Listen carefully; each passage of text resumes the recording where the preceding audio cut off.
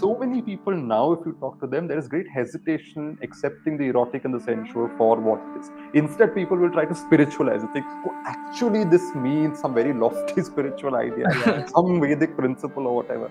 Whereas no, in reality, it is about humanizing God, and it is about, it is about bhakti in this extremely human, in this extremely human version. Like God is not just an image that sits in a in a temple, but God has come to you, and you can practically embrace God, chastise God, yell at God. In in Janabai's poetry, she has God come and pick lice from her hair, cook with her, do all kinds of menial jobs for her.